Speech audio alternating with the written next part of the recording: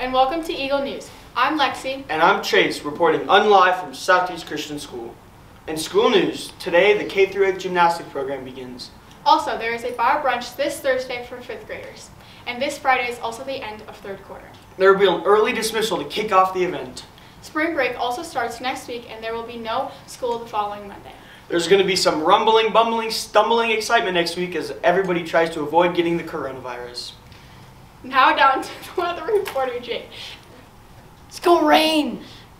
Thank you very much, Jake, for the fantastic weather report. And this brings us to our special segment of the day. We take you down to Maddox, who will be listening to our teachers debate over their favorite Mexican restaurant.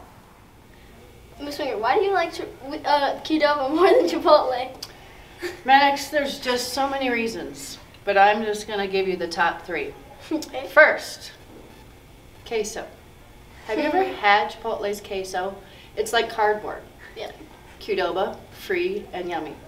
Second, guacamole. Guacamole is free at Qdoba, costs extra at Chipotle.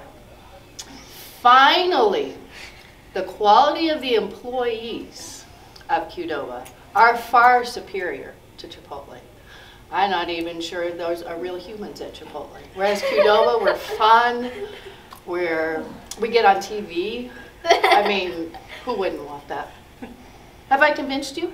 Um, yes, and I actually have liked Qdoba more than Chipotle for a while. It's good doing business with you. Mr. Lopez, why do you like Santiago's better than Qdoba? green chili and its breakfast burritos. Way better than Chipotle's or Qdoba's. Hmm. Way better. Um, do you believe we need one in Parker?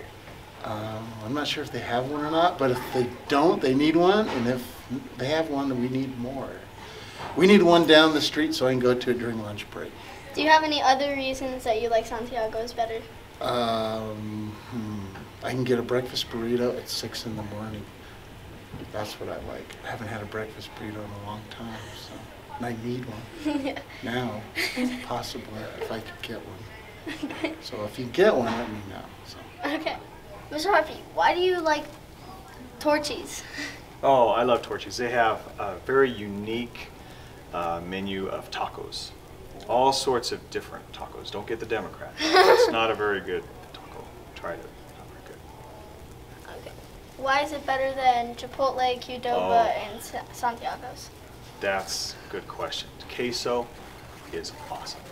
Far, far better than Chipotle's. Far, far better than any other restaurant out there. And the tacos, like I said, good selection. I think you might pick a fight with Miss Winger because of the queso. Uh, I can, I can, I think I can take her. Don't tell her, but I can take okay. Thank you, Mr. Harvey. You bet.